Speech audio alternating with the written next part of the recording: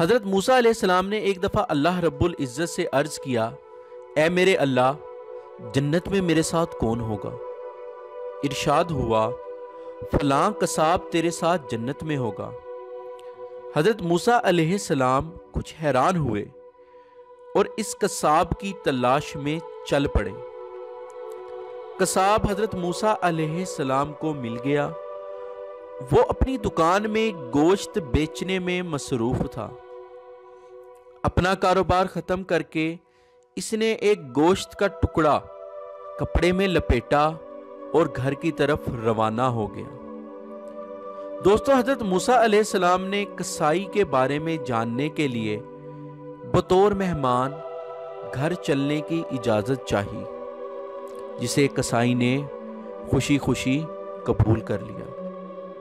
گھر پہنچ کر کسائی نے گوشت کو پکایا۔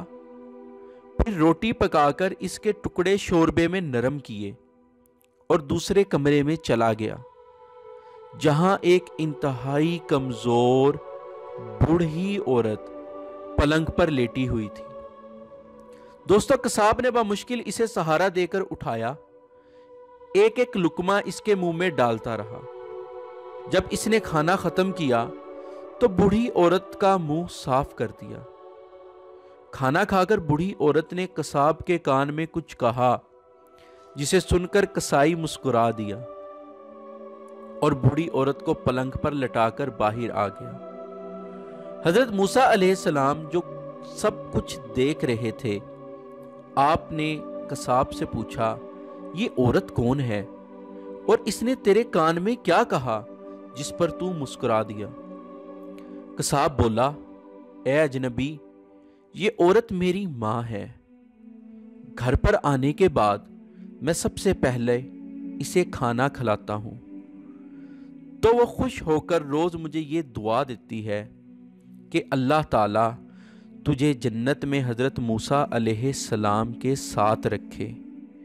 یہ سن کر مسکرا دیتا ہوں کہ بھلا میں کہاں اور موسیٰ کلیم اللہ کہاں۔ تو دوستو، ماں باپ کی خدمت انسان کو اس مقام پر لے جاتی ہے جہاں انسان کو اس کے اعمال بھی لے کر نہیں جا سکتے۔ دوستو، کسی نے کیا خوب کہا ہے؟ مجھے ماں اور پھول میں کوئی فرق نظر نہیں آتا۔ اگر دنیا آنکھ ہے تو ماں اس کی بینائی ہے۔ دنیا پھول ہے تو ماں اس کی خوشبو ہے۔